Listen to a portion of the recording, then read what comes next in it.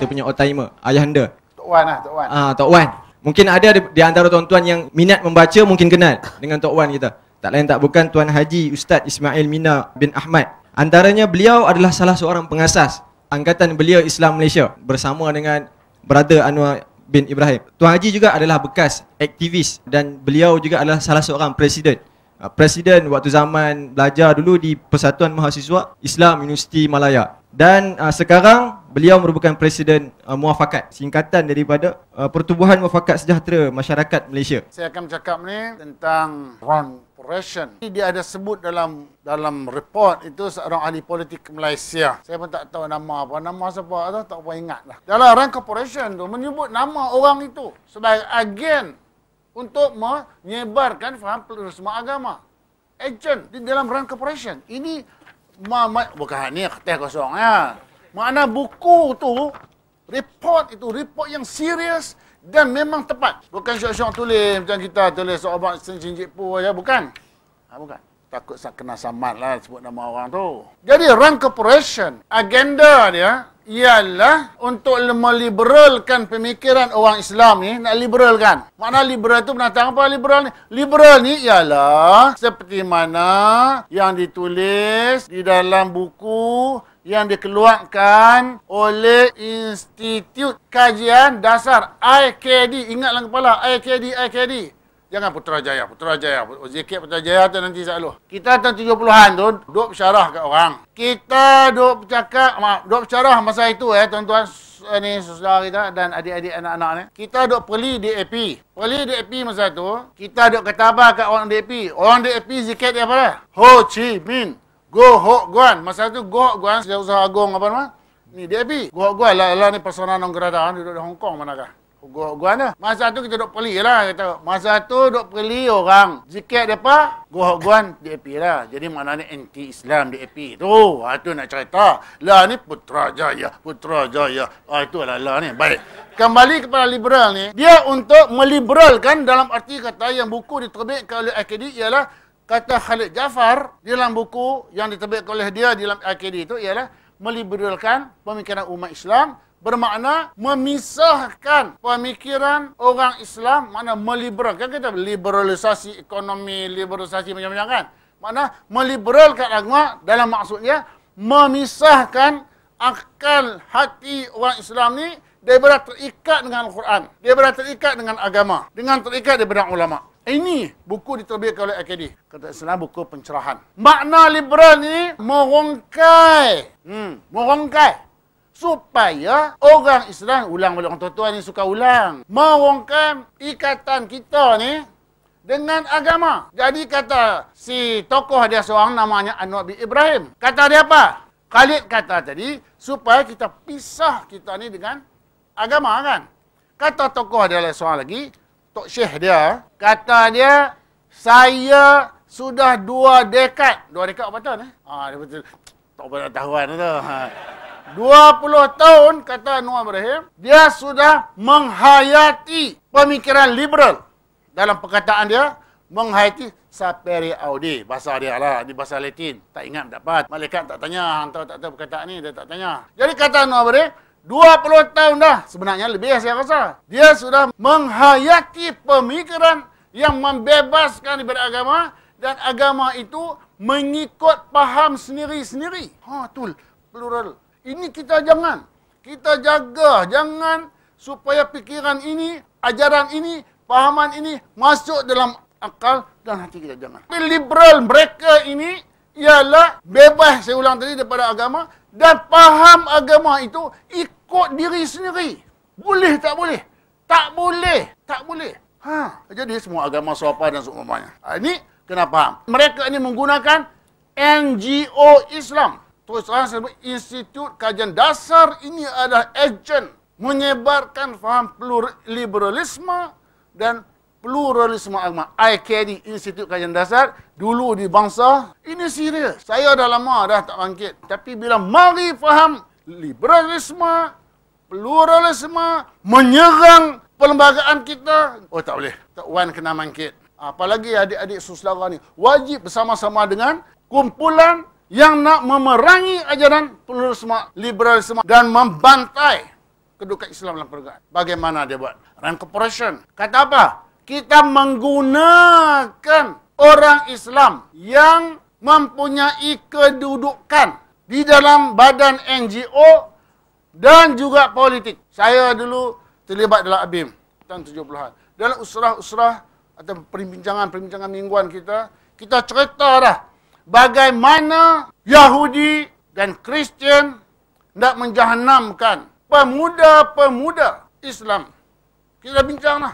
Bincang. Sekarang memang benar berlaku. Keputusan mereka daripada dulu lagi, kita cari NGO, ahli parti politik, individu yang terlibat dalam dakwah, kita gunakan mereka sebagai ejen kita untuk menyebarkan faham kita. Ini keputusan dia. Dulu 70-an kita bincang dalam usrah kita. Sekarang terjadi benar. Jadi sekarang berlaku. AKD, Institut Kajian Dasar. Saya ulang balik. Bahawa orang Yahudi, Tuhan dah kata dah. Mana tak ada sama sekali. Tak boleh lah. Mesti. Orang Yahudi tak tidur lena. Dia akan cari usaha, cari jalan. Macam mana nak memurtadkan orang Islam. Dengan cara membebaskan fikiran mereka ni, mereka ni dulu daripada agama orang. Tak perlu pergi ke kuil. Tak perlu pergi ke Wat Siam. Ha? Kalau orang Kedah pergi piana ni, pilota. Aku nak pilota. Ada orang Kedah ni. Ha, piana ni, pilota. Pilota nak pilot stang. Orang Siam kata. Ha, tu dia. Jadi, saudara. Dia tak perlu kata, hang mai masuk Yahudi. Dia tak kata macam tu. Memadai dengan mengatakan semua agama sopa sama. Maka timbullah salvation. Berjaya. Selamat daripada masuk neraka. Semua berjaya masuk syurga. Selamat daripada masuk neraka. Mana boleh? Tak boleh. Islam hanya yang benar. Macam mana orang seperti Anwar Ibrahim, si Khalid Jaafar dan beberapa orang lagi kata tak boleh, boleh masuk sama-sama. Jadi kalau gitu apa ambil Mekah, ambil Batu Kip je lah. Tambang pun murah. Sungai Batu Kip Benaris tu, sungai tu terjun dalam tu. Terjun lah sungai tu. Berapa lagi pergi Benaris? Berapa orang lagi ambil mana? Mekah. Ini jaga ni. Mereka ni menggunakan macam-macam cara. Salah satu atas nama perbincangan akademik. Keluarlah perkataan yang kita pun pening kepala. Toh, civil society, appeal metaphysics, macam-macam. Jadi kita tahu, oh, hebat ni.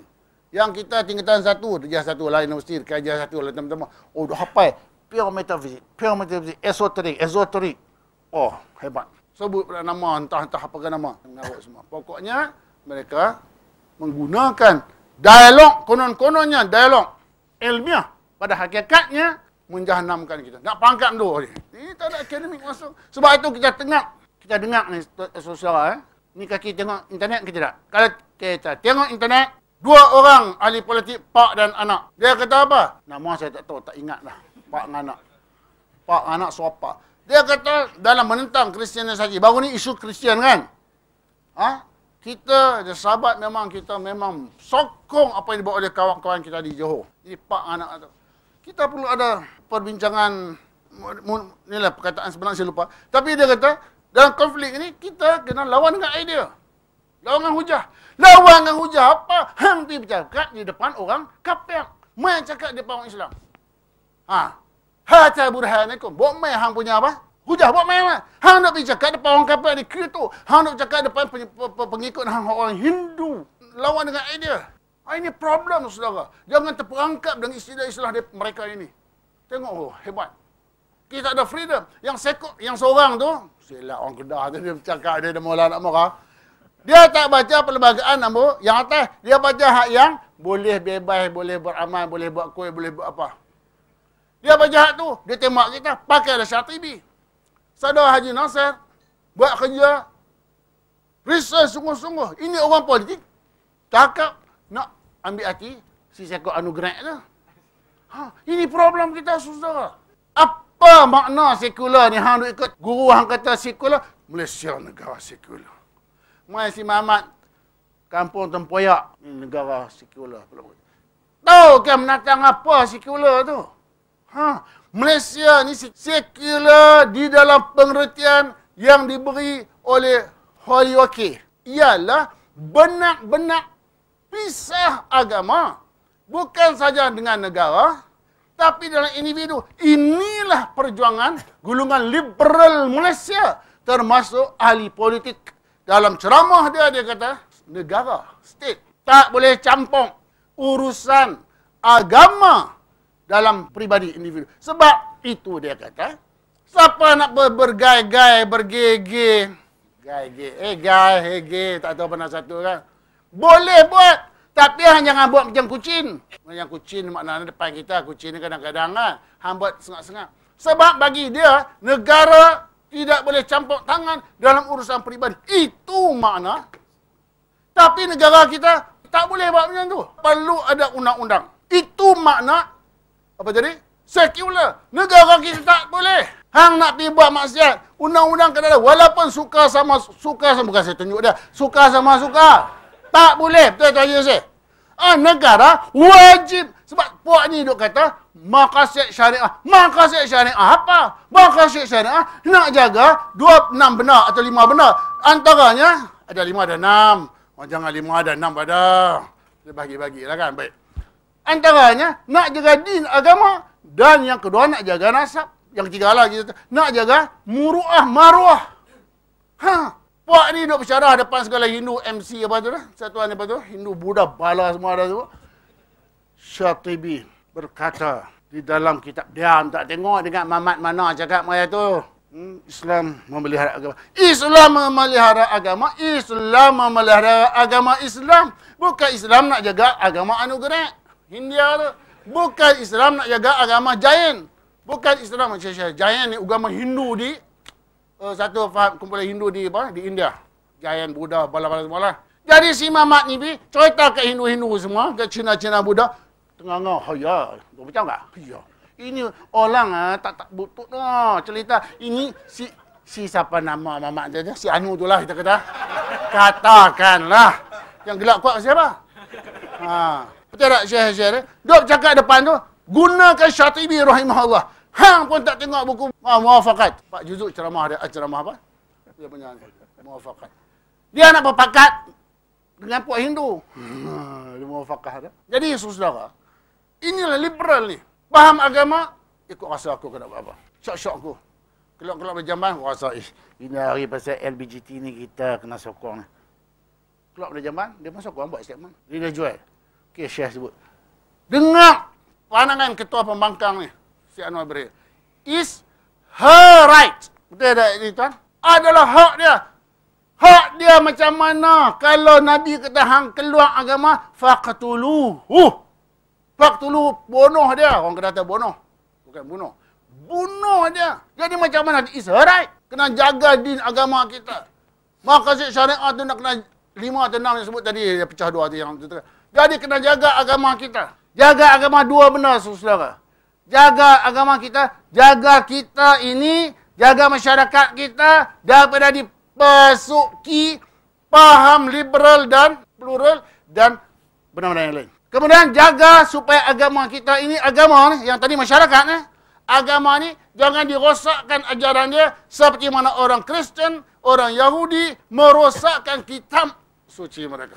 Jangan alih sihir seru nama Maharaja. Nanti segerombolan hantu bisu yang menjelma. Guna hak berfikir sebelum hak untuk bersuara. Kalau terpelajar sila guna hak Miranda